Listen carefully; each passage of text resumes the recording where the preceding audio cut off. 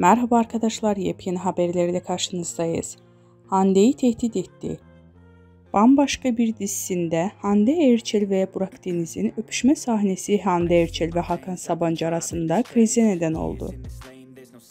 İddialara göre Hakan Sabancı yeni dizi fragmanı sonrası Hande Erçel'i arayarak yapımcı ile konuşmasını dizide kesinlikle öpüşme sahnesi istemediğini, aksi takdirde ilişkilerini bitireceğini söyledi.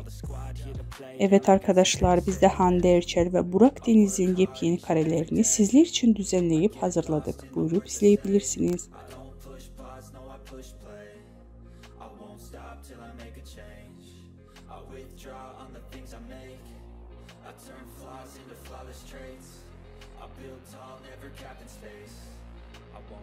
Till I hear him say.